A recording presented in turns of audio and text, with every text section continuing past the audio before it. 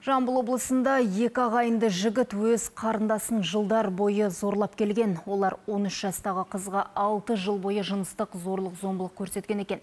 Жас өспірім қыз үйде көрген зәбірді мектеп психологіне айтуға тырысқан, бірақ оның сөзін ешкім елемеген көрінеді. Бұл туралы еліміздің бала құқықтары жөніндегі уәкілі Динара Зәкиева мәлімдеді. Қазір қорлық көрдім деген оқушы қыз анасымен бірге қауіпсіз жерге көшірілген. Аталған жағдайға байланысты арнайы комиссия құрылып, мектепте тексеріс жүріп жатыр. Бұл дерекке қатысты қылмыстық істе тіркелген, ал дерек расталса, күдіктілер өмір бойына бас бостандығынан айырылуы мүмкін. Тергеу барысында қылмысты жасаған екі күдікті тұлға анықталды. Полиция қызметкерлерімен жедел іздестіру шаралары жүргізу нәтижесінде бір күдікті ұсталып қамаққа алынды. Екінші күдіктіге қатысты іздеу жарияланып ұстау іс-шаралар жүргізілуде оқиғаның барлық мән жайын анықтау мақсатында жедел тергеу тобы құрылды.